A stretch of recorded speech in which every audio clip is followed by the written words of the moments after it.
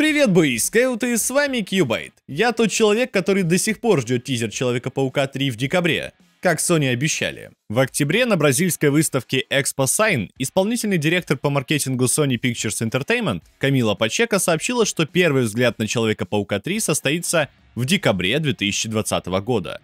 До конца года осталось меньше двух недель, а тизера мы до сих пор не видели. Это означает, что тизер или прибудет до Рождества или в само Рождество максимум, потому что после этого американцы не работают, ничего не выкладывают, такая у них традиция. Или тизер перенесли попросту на январь или февраль следующего года. Съемки фильма по-прежнему ведутся и график сохраняется, ничего не выходит за рамки. Но учитывая, сколько всего придется показать в этом фильме, если опираться на новости, которые появляются в последние недели, а именно добавление злодеев и персонажей из других франшиз, то фильм может попросту не хватить времени на реализацию этого фильма. Они закончат съемки, возможно, к весне полностью. Скорее всего, графика уже сейчас дорабатывается, уже сейчас идет разработка костюма, э, разработка порталов для третьей части и вообще вся эта мишура с мультивселенной, которая произойдет, по слухам, в третьей части фильма. Но так или иначе, даже больше полугода на создание такого сверхбюджетного масштабного фильма, на мой взгляд, очень мало. Посмотрим, успеют ли. Но в октябре еще Камила Пачека заявила, что дата выхода остается прежней. Это 16 декабря 2021 года. То есть до фильма осталось меньше года. А я напомню, что в 2021 году выходит еще 6 фильмов Marvel, и это не считая сериалов. Да, стоит добавить, что под Marvel фильмами я подразумеваю и Морбиуса, и Венома 2, поэтому получилось 6 фильмов. Они тоже выйдут в 2021 году и также будут тесно связаны с вселенной Человека-паука, если не с полностью киновселенной Marvel. Однако есть и позитивные новости касаемо тизера Человека-паука 3 в этом году. Испанский твиттер-аккаунт Paramount написал, что Marvel дарит нам свой рождественский подарок, и это коробка, которую, если мы откроем, то получим три Человека-паука 21 века в одном фильме. Естественно, они говорят о Человеке-пауке 3. Но они написали, что это рождественский подарок и коробка, которую мы должны открыть. Возможно, это отсылка или намек на то, что 25 декабря, это американское Рождество, то мы сможем получить хоть какую-то информацию, даже если не тизер, то какие-нибудь официальные новости о том, что будет происходить в фильме. Потому что пока все то, что появляется, это да, надежные источники, но это не официальное заявление Sony. Если вы, как и я, волнуетесь о судьбе Человека-паука Тома Холланда, то можете чуть-чуть сбавить обороты, так как есть и положительные новости. Если исходить из инсайдеров, а это The Geek World Wide, это Daniel RPK, более-менее надежные источники, это вам не сайты желтушные, которые пишут вообще новости, из головы придумывают, я так тоже умею.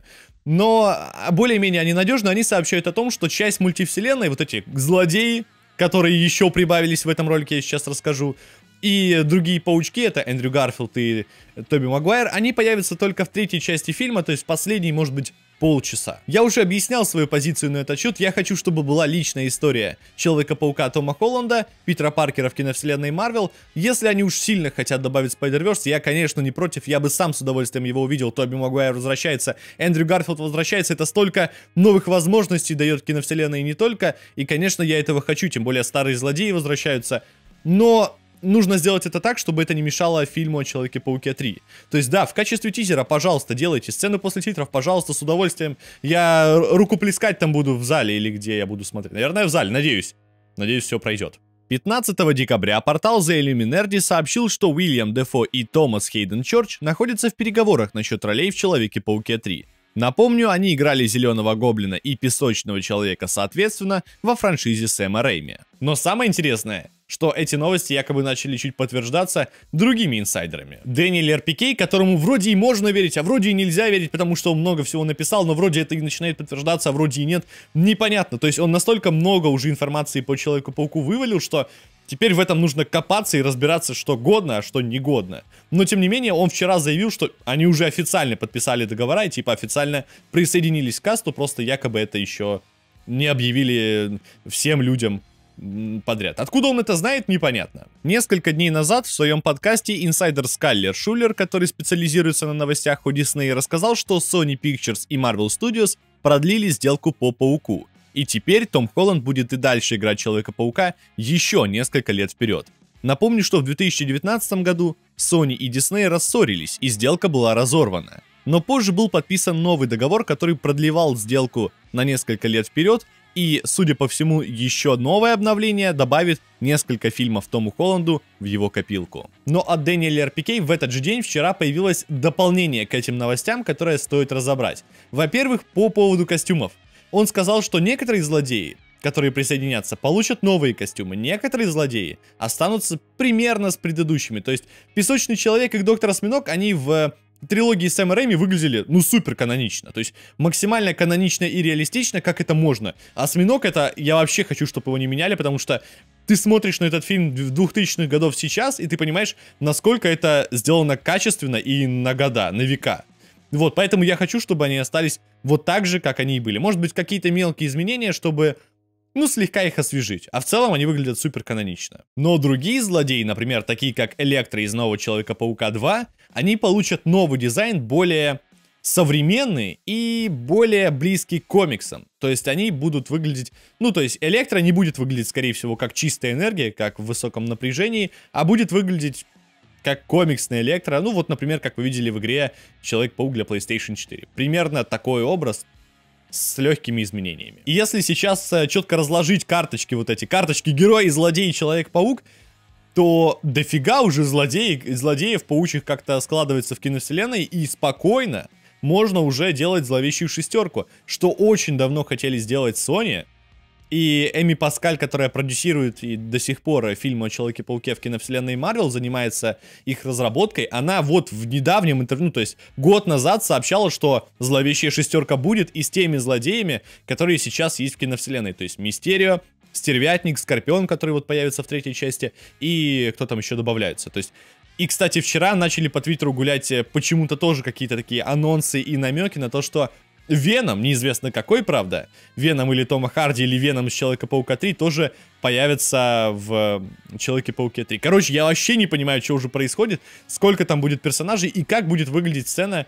То есть уже есть арты, примерные такие наброски, но это ж вообще какое-то безумие, и ну, так делать нельзя. Мне бы хотелось видеть, чтобы это был какой-то завершающий... Кстати, это вполне может быть завершающий кадр э, третьей части Паука. То есть в каждом э, фильме мы видели, что фильм завершается каким-то супер клиффхенгером. Как, знаете, сериалы делают, типа, что за... И вот так в каждом фильме, типа, what the fuck? И на этом фильм заканчивается. В первой части он надевает маску, и тетя Мэй его видит. На этом фильм заканчивается. Это плохо обыграли, как мне кажется, во второй части. Вторая часть заканчивается тем, что его вообще раскрывают личность, типа Питер Паркер, Человек-паук, он такой, what the f... И на этом заканчивается фильм. И третья часть может закончиться еще большим. То есть, видите, клифф, э, клиффхенгеры нарастают. Сначала тетя Мэй узнала? Окей. Узнал весь мир? Окей. Теперь еще и злодеи придут. То есть, э, он может увидеть, что порталы появляются, откуда вылезают различные злодеи, и он такой, what the. И уже дальше будем разбираться с этим что и как. Ну, в Докторе Стрэнджа 2, судя по всему. Вы только представьте эту странную сцену, если появится два Венома из двух разных вселенных. Вот это будет реально что-то необычное. Ну, хоть один Веном, я надеюсь, э, прицепится к Паучку, и мы наконец-то увидим симбиотический костюм хотя бы в качестве камео. Это было бы круто. Оставляйте в комментариях свое мнение, конечно, что вы думаете по поводу мультиверса. И я знаю, что люди разделены на несколько лагерей, кому-то это прям очень дико заходит, и они хотят все видеть, что, э, что предложат. Некоторые люди говорят, что нет, вообще ничего не надо, а некоторые, типа, вот примерно как я, то есть, ну, в конце окей. Но не портите весь фильм этим, потому что, ну, э, это будет вообще выглядеть как какая-то мишура с кучей новогодних вот этих игрушек в виде злодеев и мультивселенной. Всем спасибо, подписывайтесь на канал, пока.